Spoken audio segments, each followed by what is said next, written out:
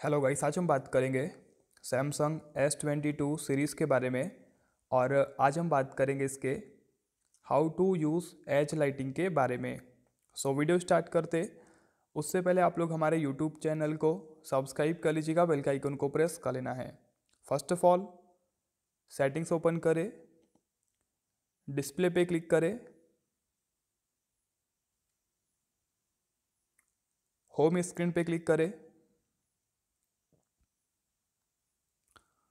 Okay एक minute, back करेंगे तो यहीं पे हमें एज स्क्रीन मिलेगा, इस पर क्लिक करना है आप लोगों को। यहाँ पे आ गया सेकेंड ऑप्शन एज लाइटिंग का। हम इसको ऑन कर देते हैं। तो लाइटिंग स्टाइल की बात करें तो काफ़ी सारी हमें यहाँ पे लाइटिंग स्टाइल देखने को मिलती है। तो जो भी आप लोगों को लाइटिंग के इफ़ेक्ट अच्छे लगते होंगे, आप लोग उसको सेट कर सकते हैं। उसके बाद सेकेंड ऑप्शन मिलता है चूज़ ऐप्स का, इस पर क्लिक करेंगे। तो आप लोग यहाँ पे एप्लीकेशंस को सेलेक्ट कर सकते फॉर एग्जांपल हमने यहाँ पे व्हाट्सअप को सेलेक्ट किया।